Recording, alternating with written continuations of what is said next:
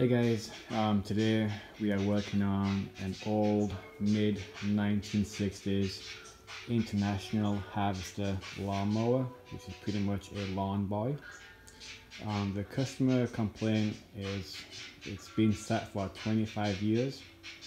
Um, when I added gas to the mower, um, it started to leak through the uh, intake area where the air filter goes. That's usually a sign of a bad or stuck float in the carburetor. So we need to take that apart today. Also we need to fix this starter recoil.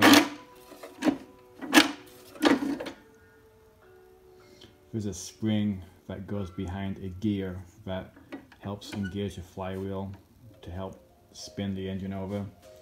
Uh, I have the spring for that and also when you uh, go to turn the lawnmower off it just keeps running. It's kind of scary.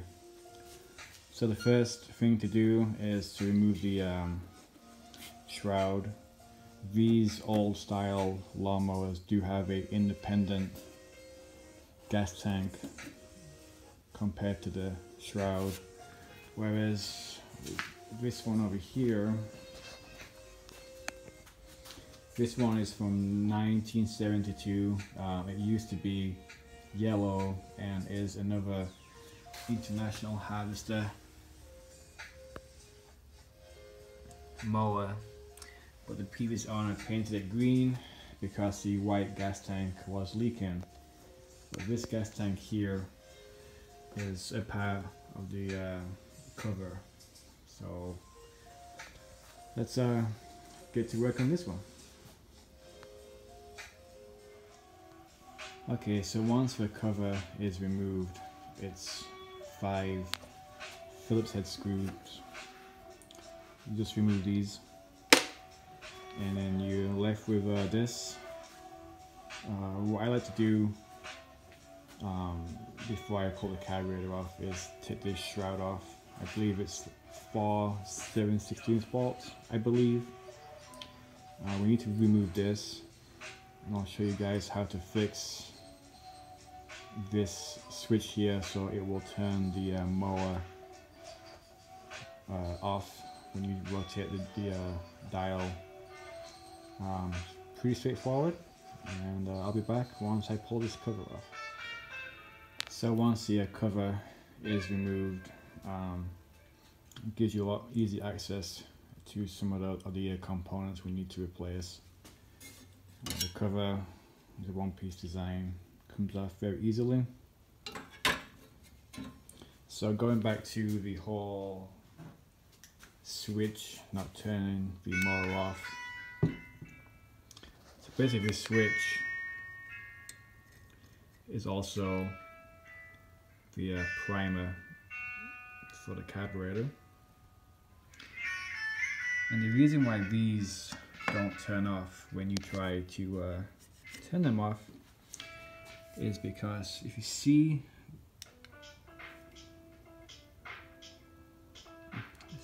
see if I can do this with one hand. Okay the uh, screw you see there go into the uh, wire for the coil.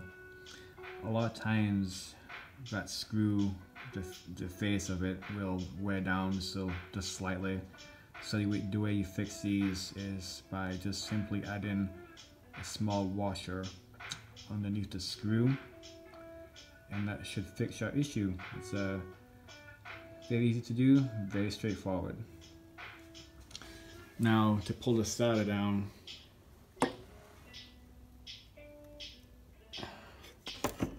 there's one bolt. It's kind of hard to do with one hand and a flashlight there's a bolt right here. And again I, I apologize for the poor lighting but that bolt right there you uh, loosen that bolt and the whole uh, starter assembly uh, should uh, drop down so we can replace the spring and give um, the recoil uh, some better return by tightening the spring inside this mechanism right here. Alrighty, so as stated before, the starter just drops down. It's held in by this. Uh, it's usually a 7 16 but for some reason a 11 millimeter fit this a lot better. Uh, when these drop down, just make sure that the spring here doesn't unwind, so don't pull this apart. What we're doing here today is replacing this pinion spring right here. It's got too big of a gap right here. And also we need to put some lube on here too. Um, let me grab the new spring and I'll show you the differences. So you can see the difference already. Again, I apologize for the bad lighting. Uh, one day I will invest in a, uh, a, camera stand. But you can see how far spread apart the uh, pinion spring is on this compared to this one. And we just slide off and you just slide them back on again. And then we'll get, we're gonna give the uh, pinion some lube and then get it all back together. So the new spring is installed. Um, it fits in, the, in a recess on that sprocket. And just make sure you uh, clean the drive up and put like a small amount of grease on there. Nothing too crazy. You don't want it to uh, attract dirt and bind up. But this one's fine.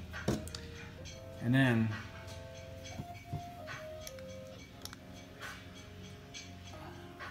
try to do this with one hand, which is difficult, using a cell phone. Uh, right here is where the spring goes. So one leg of the spring goes underneath and one leg of the spring goes on top. Alrighty, so now it's all back together.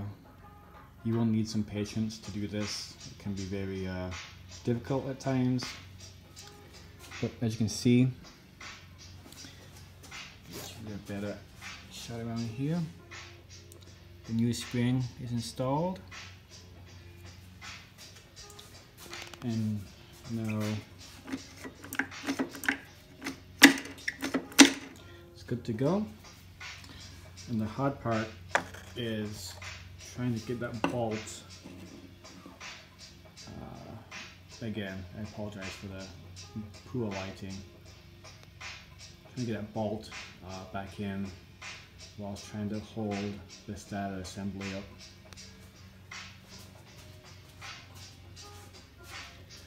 But I think now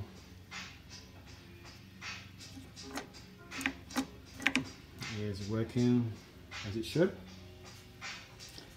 Next step is to remove the carburetor and see about this stuck float. Okay, to remove the uh, carburetor, obviously remove this fuel line right here. And then there is four 7 16 bolts. Uh, just remove, remove those and just pull the carburetor right off. So here's a carburetor off the uh, lawnmower. Uh, to get the uh, float ball off, just loosen these.